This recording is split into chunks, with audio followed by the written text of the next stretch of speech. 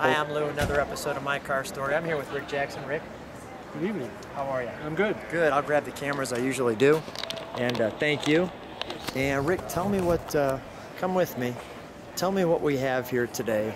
Well, we got At a the show. we got a 1969 Dodge Super Bee with a 426 Hemi, which makes it a pretty rare car. They only made 38 with a four-speed and uh, what we call a a post car. So they only made 38 of them in 1969 with that engine and transmission combination. So let's take a look at the details. That's coming at you. And let me zone in on the Coronet Super Bee emblem. There we go. And I'm to get a little closer to the car just because there's some kind of fun stuff besides the Mopar. You see this wonderful 69 detail, and I'll zone in on that. So for those of you who like all that detail, you can feel free to read all that later. I'll start at the top and give you the chance to read that at your own leisure. And you can pause and stop that anytime you want. So we've got the Hemi Super Bee. There is the close-up on the logo. And the other thing that makes this car so unique is the fact that we've got the Hemi badging. Now that came on the hood with the hood scoop, and this hood scoop's functional. Correct. Correct. And these are the steel rims that come with it, originally from the factory. Rick, how long have you had this car? Uh, I got the car in 1995. 95, and you've restored it. When did you start Correct. restoring I it? started restoring about 97, and it was about a two-year process. About a year to take her apart and run down parts, and then get the body uh, straightened out and repainted. Really didn't have to do a lot to the body other than repaint it. I'm going to get a shot, stay with me. We're going to get a shot of the entire side of the car.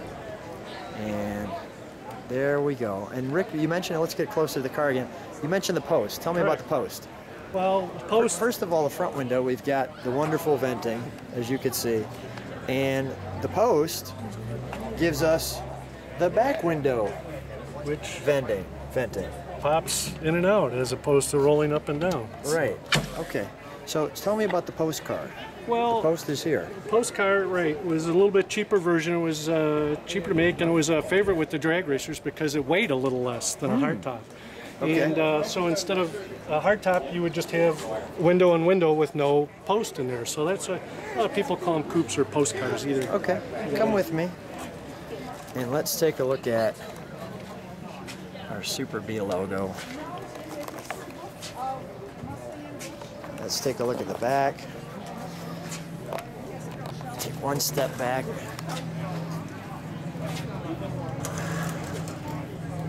There's the back. Dodge. And there was no Super Bee on the back. No Super Bee emblem on the back. There's- oh, there should be one? Okay, all right, there should be one. You're missing them. one. all right, okay. Good eye. You have a good eye. All right. There you go. Let me just open up. Let's take a look at the inside. Very standard metal on vinyl door. Bench seat. The bench seat, the pedals. And let's take a look at the bench seating. A lot of room in the back. And a cool little Super Bee that Rick's got back there. And the standard Hurst 4-speed. There's the Hurst 4-speed. Let's take a look at this dash. Here we are. We've got the lights, the panel, the flashers on and off. We've got the clock. Tick tock.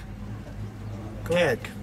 Because it had a clock on the inside and a tach on the outside. Did not notice that, but you're right. And we've got that clock working, which is nice. So we've got fuel, temperature, pressure, alternator, washer. Looks like the original radio and the temp. And there's nothing in this car. There's that vent button right there. A brake release. Another vent here. There is nothing in this car. Ashtray. There's nothing in this car that says Coronet, Superbird, or or Super Bee, or anything. Very, just basic. Right. The basic, Yeah. Sold basically to street racers. Let's- drag, guys that wanted to drag. Let's take a look under the hood. That's that's that's that's why. Why did you have to get a Hemi? Well, just if you're a Mopar guy, it's kind of the ultimate engine. That is. And there we go. The reason for the car. The 426 Hemi.